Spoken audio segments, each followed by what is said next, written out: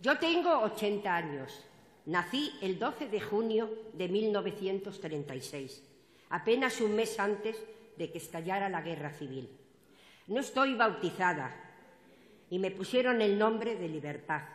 Creo que con eso está todo dicho.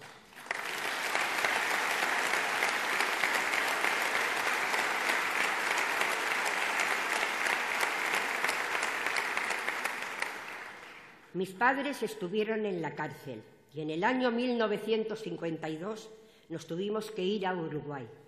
Allí viví 18 años. Allí conocí a mi marido. Allí tuve a mis hijos. De mi padre aprendí muchas cosas. Aprendí que un socialista honesto tiene la obligación de pensar en todos y no en uno mismo.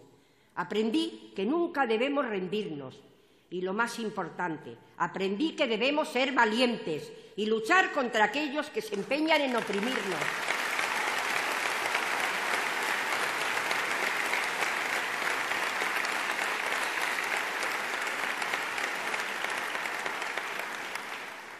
Recuerdo a mi padre volviendo a casa de su trabajo. Por aquel tiempo trabajaba en una empresa de confecciones de banderas él conocía las banderas de todos los países del mundo, por eso le contrataron. Un día llegó un pedido del Consulado de España en el Uruguay. Mi padre recogió el encargo, lo tramitó y lo envió. Cuando el funcionario del consulado abrió el pedido, se quedó boquiabierto, porque allí, dentro de la caja, la que estaba era la bandera republicana,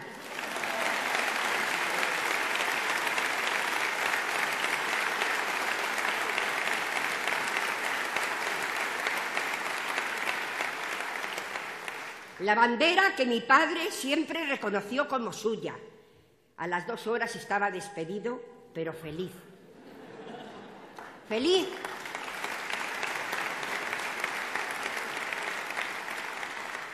Feliz porque no había traicionado a sus ideales. Igual de feliz que estoy yo hoy aquí por acompañar a un hombre que tampoco han traicionado sus ideales. Un hombre como Pedro Sánchez.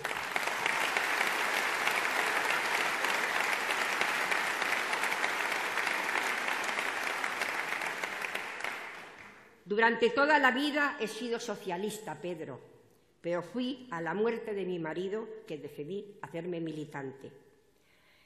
Desde entonces me he sentido orgullosa de pertenecer al partido al que hubieran votado mis padres, un partido que tenía bien claro que su enemigo era la derecha, un partido que tenía bien claro que su color era el rojo,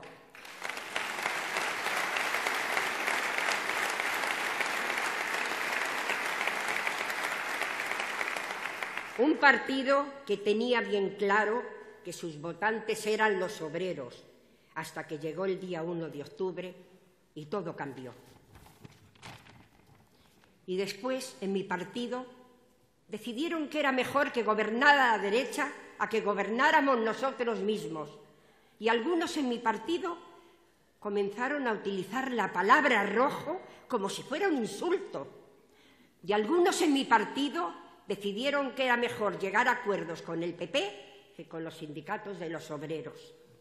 Y te aseguro, Pedro, que yo no entendía nada y hoy todavía no lo entiendo. ¿Cómo la gente a la que he aplaudido cuando me decían que nunca permitirían un gobierno del PP, pretenden ahora que les aplauda cuando lo permiten? ¿Cómo después de tantos años han comenzado a decirme que en la derecha están nuestros adversarios, pero que en la izquierda donde están nuestros enemigos. Ha sido un invierno duro, Pedro, muy duro, un invierno oscuro y frío, el que la decepción ha sido grande. Pero lo bueno que tienen los inviernos es que acaban y ahora estamos en primavera. Y a mis 80 años sigo creyendo en la primavera.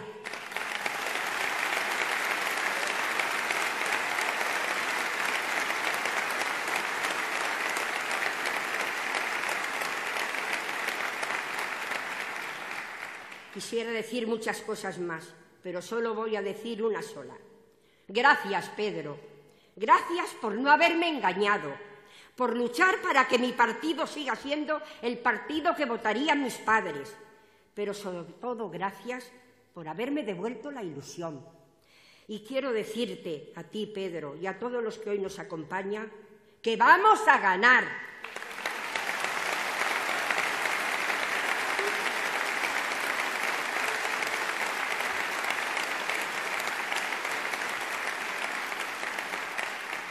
Y que a partir de mayo nuestro partido volverá a ser nuestro, porque somos más, Pedro, muchos más, y además somos mejores.